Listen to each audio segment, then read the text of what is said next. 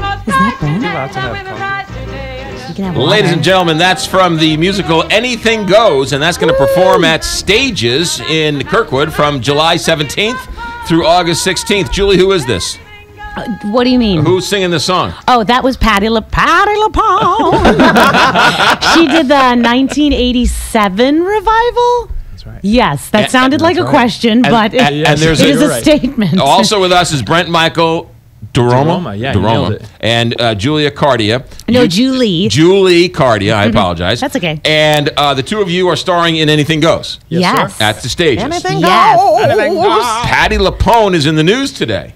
She was, for she? what? She stole was someone's performing on Broadway, and someone's phone rang, and she went in the audience and took the person's phone away. No, she Oh. didn't. She has a history of, She does. of being really upset when phones go off. Yeah, well, Yeah. I could, I could certainly see that. Right. don't blame Which her. is understandable. It's Yeah. my favorite when it's after intermission and the lights are still low, but you're on stage and you see everyone's phone just like glowing. The blue They're light. That last minute text message. Yeah. So, so, Right. so, as actors, Yes. that is really annoying and really bothers you. I Yeah. You know, it's Don't just do it. because it takes you out. Not only does it, it honestly won't to take us out at first. It 'Cause ta- you're the peop- professionals.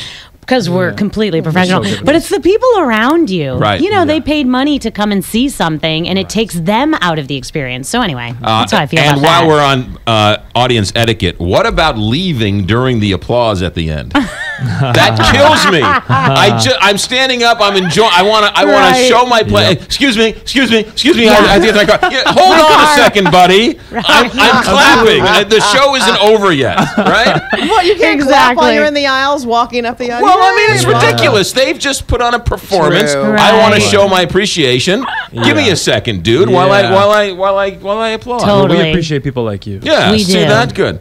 All right. we love you. Uh, is this is this the first time you guys are going to be at stages? no, I've been there twice. Um, Mm-hmm. Okay. Two different shows, Guys and Dolls and uh, Secret Garden. Okay. And What you're a veteran, too. Yes, I well, kind of. I I've been here all summer pretty much. I stayed and did Smokey Joe's Cafe, which is the show just before. Sure, right. Uh, the first show of the season. which which the audiences went crazy over. They Yes. really dug it, and I I dug it too. Yeah, it was uh, really good. And okay. we dug you. Thanks.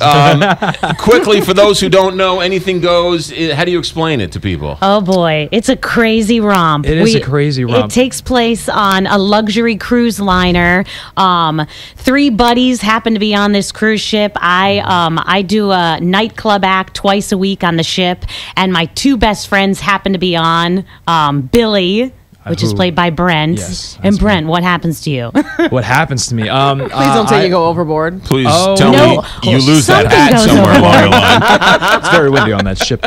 Um, no, we. Uh, I get, I'm a stowaway on the ship. Uh, I, I, out of just love and and, and concourse, uh, to hide myself away. g- Somehow get a ticket uh, from this gentleman, Moonface Martin, who's uh, public enemy number 13 at the time.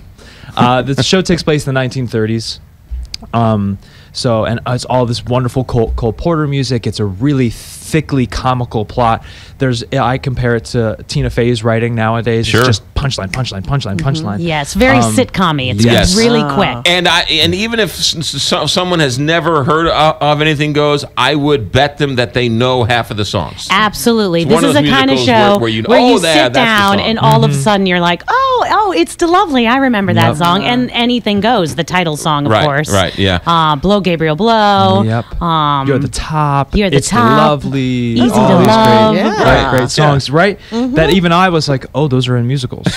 because at Right. the time, you know, in the 1930s, you had these songs also playing On the you know, radio. on the radio or whatever. You know, they were very popular songs. This was pop music back then. Yeah. Right. You know, whereas and now it's very removed. There's musical theater music, Right. and then And there's, there's pop music music. that's played on the radio. But at this time, this was the music. Not on my iPad. I play all those uh, musical musics on my Yeah, iPad. right. It's Yeah. good stuff. It is Yeah. good I bust. I bust them off at Yes, the gym. he does. I bet. He's listening to Wicked Defying Gravity, puppies. doing bench presses. Uh, I don't say that publicly, by the way. I just want you to know. No, I the don't. show is in public. Wait, They yeah, all I know don't. I don't admit to Wicked on my iPad. Okay? I don't admit to that publicly. So no, I don't listen to that. He's got it. um, But I, but I do really enjoy it though. Um, all right, anything goes at uh, stages. For those who haven't been to stages, it is a wonderful venue It to go to go. I mean, there's not a bad seat in the house. No, absolutely it. not. It's it's kind of a more intimate space, actually. Yes. But you're right. There's no bad seat in the house. Um, get your tickets now, though, because I believe there are several shows that are already sold out. Aha. So, because this is a big hit, everyone kind of has heard of Anything Goes. Everyone goes. Everyone goes. To any- And, and Right. turn your cell phone off, or at least put it on vibrate. Yeah. Uh, July 17th through August 16th. Uh, since you're in St. Louis for a month, are you? Have you seen the Arch? I have. I've seen not th- uh, this You- time around, but Okay. You um, but I go to the definitely will. You I'll gonna go to the Ted Arch. Drewes and have your favorite frozen custard. I don't even know what Ted that is. Drewes. That's Oh. that's a foul. That's that's a violation. Oh, then I have to go. Yes. So fro- Yes. frozen custard. Frozen custard. Yes, I love that. Yes, it's Oh, very close to uh, stages. After one of the performances, go and you'll see half of the audience at, At Ted, Ted Drewes. Drewes. Right. Fantastic. Yeah. Yeah, All right, get your cool. tickets at stages Saint uh, stlouis.org. stlouis.org. That's what. Yes. Uh, okay, uh, it's anything goes at stages from July 17th through August 16th. The newly minted producers, uh, Tony Award-winning producers, Yeah. uh, now performing, now putting on uh, original drama and musicals at stages. Uh, that is Julie Cardia and Brent Michael Diroma. Dorma. Dorma. Dorma. Dorma. Dorma. Dorma. You got it. If you- yeah. Anything goes. Stages uh, July 17th through August 16th. Uh, Julie Brent, thanks for coming in. yeah, Thanks thank for you having us. guys. You Yeah. got it. It's 849 here, Big 550 KTRS, the